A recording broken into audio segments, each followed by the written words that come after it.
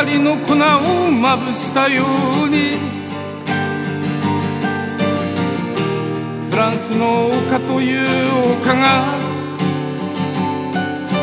淡いオレンジに輝いているのは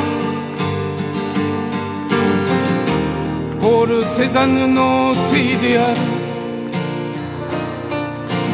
破壊なのか革命なのか関節のゴツゴツした音はたまげた構図の中で休む。エゴン・シレは誰なのか。一人ぼっちは絵描きになる。一人ぼっちは絵描きになる。正気などではありはすけぬ。赤いガランス内なるデカダン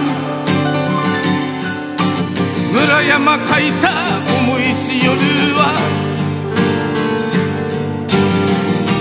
何ためらうことなく残酷になる。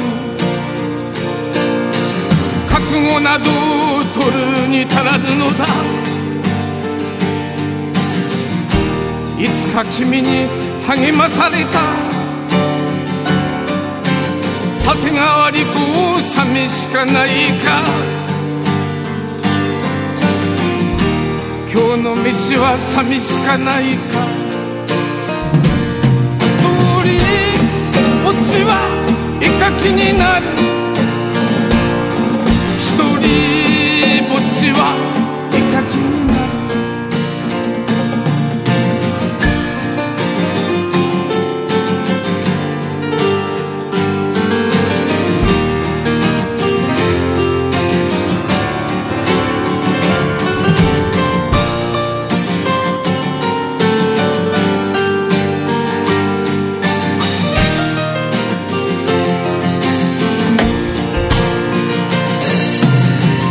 なものなぞ何一つなり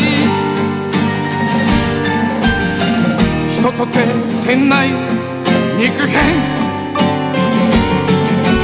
フランシス・ベーコンはるかなりけりいつかおぼろげな花をした。